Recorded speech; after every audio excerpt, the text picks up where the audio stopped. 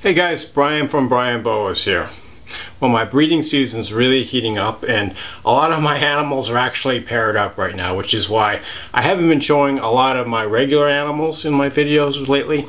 So today I thought I would show you some of my future breeders. These are animals that I'm growing up for future breeding stock. So if you want to see some really cool locality boas that I expect to pair up for the 2023 and 2024 breeding seasons, just stay tuned. So I thought I'd start off with this beautiful female Argentine boa. So this is a subadult female. She's uh, right now about four and a half or five feet long. I expect she's probably got another two years or so before she reaches breeding age. Uh, she's a 2019 baby and I was lucky to pick up a really nice pair of Argentine boas back in 2019 to add to my breeding group. And this was back when they were starting to be, get really popular but they hadn't kind of reached their popularity now. Um, so they were hard to find, but you know they've gotten really, really hard to find lately. And this female is really beautiful. Her color and pattern. She's kind of at that age where she's really starting to get her adult coloration. Uh, so the babies start off with more defined saddles and typically pink saddles and the pink color fades. And then when they reach a few years old, they start to get this real high contrast between the darker, you know, black and dark brown coloration and the lighter, you know, white and yellow and cream coloration. Um, also, their saddles get less distinctive and they just start having this really cool look. So um, these Argentines, one of the biggest uh, locality boas, you know, getting up to rarely, you know, somewhere around 10 or 11 feet, but more typically around 8 feet or so for a large adult. And they're also very strong. Um, Incidentally, I would say they're probably as strong as a true red tail, but when I hold them, it's a completely different experience. You can see she's moving around quite a bit more than the true red tails. My true red tails typically will just grab me and hold on. Um, and this animal, and most Argentines, they just kind of move around more. In fact, when I was setting up my video uh, setting and you know starting the camera, she uh, clamped onto one of my lights and almost knocked it over. So I gotta keep a watch when I take out these Argentine boas as they can be a little mischievous at times. Now I want to show you a few really nice true red tail future breeders and I'll start with this beautiful Venezuelan true red tail boa. So this female was born in 2017. She's a Rio Bravo bloodline bred by my friend Mike Lucchese. And so this animal just always really stood out for how clean she is. You can see her dorsal surface, her back has like very, very clean looking. Um, when I first saw this animal as a baby, I thought that there might be some kind of morph type thing going on with her. But I've actually seen a few other Venezuelan true red tails from this bloodline that look similar. Um, just super clean pattern you can see. Uh, I like really like these Venezuelan true red tails. They don't get as big as some of the other true red tails. And they've got this beautiful golden brown color um, with lots of pink and um, a little peachy looking overtones to them. You can see the saddles are kind of a nice bow tie shaped symmetrical saddle. And they also don't get that large. You know, the adults get to maybe five or six feet. So I imagine this female, I don't know about next year, but she probably will be ready to pair up in uh, 2024, I would think. She's actually been a, a little smaller than my other Venezuelans of the same age, but just, you know, going to take her time and, you know, however many years she needs to reach adult size. I do have some Venezuelans paired up this year. You know, my fingers are definitely crossed for that pairing since I haven't produced Venezuelans before. So it'd be really cool to, you know, produce some of these beautiful Venezuelan true red tails. So stay tuned for the results of that pairing, hopefully sometime this summer. Another future true red tail breeder. This is a Suriname female that was born here back in 2016. So this is a female from my Prometheus bloodline. And I just loved uh, this animal. She really stood out as, you know, one of the best in the litter just for her very clean pattern and her nice peak saddles that are connected. Um, her pattern when she was, you know, a baby almost looked like it had been drawn on. It was so perfect.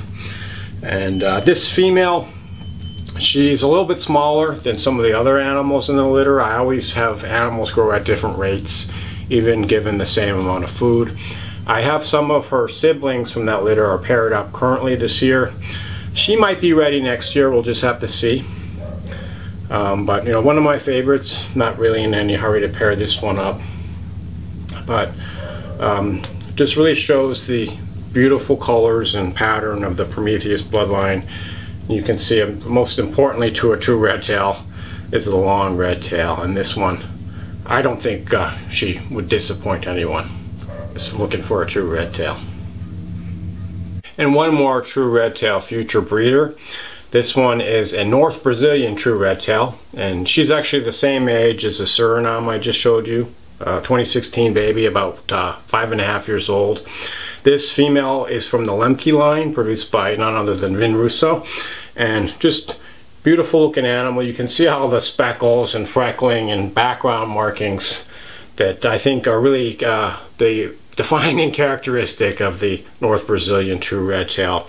You can also see the asymmetrical peaked saddles that are kind of jaggy looking, more, a little more jagged looking than what you would see in a Suriname or Guyana.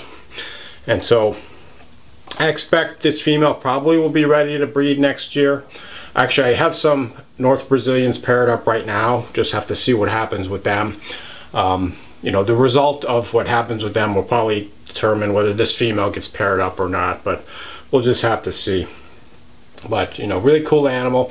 This female was actually really um, a little bit aggressive when I first got her and she would hiss constantly and for the first few years she did that and she'd strike out at the cage when I would open it up but lately she's just really calmed down. So a lot of these animals these true red tails they might be a little more aggressive as babies but you know a lot of them do calm down with age just like this North Brazilian true red tail female Moving on from the two red tails, I definitely wanted to include this guy in my video on future breeders. Although you can see he's in shed right now. Seems like there's always one animal in shed every time I try to make a video. But you can see how milky he looks. So his colors aren't going to be nearly as bright as it would be after he sheds. But this is a Honduran fire belly boa. This is a male.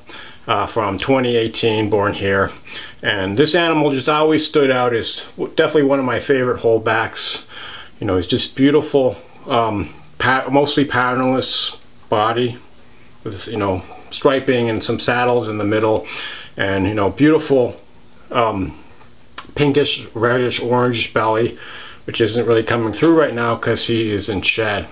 Um, but this guy probably will be ready as early as next year. The males can breed younger than females. You know, we'll have to see depending on how things go this year, whether I'll pair him up or not. But I also noticed that his spurs are really prominent. I don't know if it's just because he's shedding, but you can see the two little spurs. In case you were ever wondering about how to sex boas, adult boas are very easy. If they've got these two little things that stick out like this guy, it's obviously a male. You can see his tail is also relatively long for his body size and it's kind of thick and then it just tapers very abruptly at the tip. Our female tail will be quite a bit shorter and it'll be kind of a constant tapering. But I just thought, you know, looking at the spurs, you can see this guy's obviously a boy.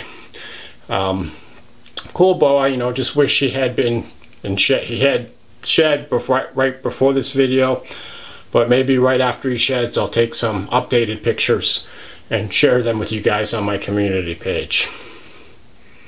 Well, wouldn't you know, as it turns out, this next animal that I was planning on for this video is also going into shed. You know, she's not quite as milky looking as the Honduran Firebell we just saw. Um, but so, you know, she is in shed, so her colors are a little bit more subdued. But this is a beautiful Crawl Cay Boa. This is a female born here in 2017. And this animal I held back just because of her lighter colors overall and she's got a lot of pinkish lilac, you know, a little bit purplish uh, overtones, especially on her sides, which isn't coming through as well right now. Uh, but this animal, probably pretty close to full size. You know, she's going on, I'd say about four feet or so, which is, you know, pretty much adult size for these animals. They get up to maybe five feet. But this is a dwarf form of boa uh, from a small island off the coast of Belize. One more dwarf boa holdback to finish out the video. This is a 2018 Tarahumara Mountain Dwarf Boa born here. And this female is uh, nearing adult size. This is the smallest locality boa with adults as uh, small as three and a half feet. So I expect this animal will get a little bit bigger, but not too much. Uh, so this animal was from a litter that uh, the mother of this litter has a lot of pink in her, so a lot of the babies have the beautiful pink colors. Uh, you can see the kind of a circle back pattern, you know, down their spine.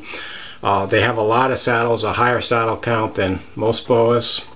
And they also have lots of, um, in addition to the pink, they have a lot of like greenish and even bluish overtones, a lot of nice iridescence as well. So really beautiful, underrated, dark, small dwarf locality boa from northern Mexico. I hope to have a litter of these this year actually. I didn't have any last year unfortunately, but hopefully this year the luck will be more on my side. Uh, but we'll just have to see. But one of my favorites, I just love these little dwarf boas. You know, both as far as their looks and as far as their behavior and pet keeping qualities. So that was a look at some of my upcoming breeders for the next couple years ahead. So, you know, stay tuned to the channel and hopefully we'll move some of these animals into breeding trials in the next few years. I hope you enjoyed the video. Shoot me any questions you may have or comments below. Thanks and enjoy your boas.